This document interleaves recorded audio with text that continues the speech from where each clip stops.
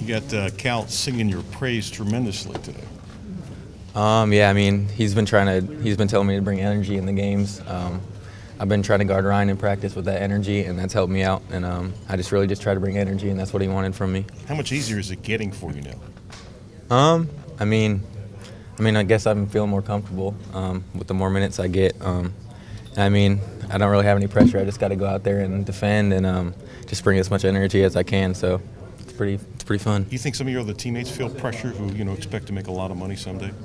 Um, I mean, I don't really know. I guess you have to. I don't think so, but who knows?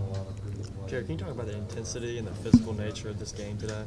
Oh yeah, I mean it was really physical. We knew they were going to try to be physical with us. Um, we just had to fight back. Um, I mean, uh, there's a bunch of fouls both ways, but uh, we just got to be tough, and we've been trying to work on getting tougher. So this was definitely a good test for us. Why do you think teams want to be physical with you? What's what's their end Um, I mean, I don't, I don't really know. Um, I guess maybe we're young or something like that, but I mean that's that's what a lot of teams, most of the teams that we play, are trying to do, just physical. So uh, we've been really working on that, and uh, we've been getting better at it.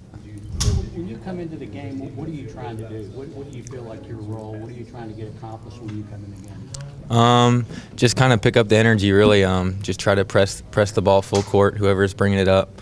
Um, I mean, maybe not get a steal, but um, just try to up tempo the game a little bit. Um, do whatever I can on defense, and then um, just run the team on offense, really. Their coach said they played a clean game. Would you agree with that? I mean, I don't know. I I guess so. Sure. How does a game like that help for Florida, especially uh, going down to Gainesville on Tuesday? Uh, yeah, I mean, we know they're going to be physical too. Um, they're a really talented team, so uh, this was a good test for us. Um, we'll just get back to practice the next two days, and uh, hopefully we can get a win at Florida. You see this team getting better the last two, three weeks? I, yeah, I think so. I mean, I think we definitely improved a lot. Um, we've been practicing a lot harder, so hopefully that'll pay off. You surprised when Cal brings out a book to start reading to you in shoot around the day of the game? Uh, I mean, we've been reading that book for a while, so uh, I mean, I guess he can do whatever he wants.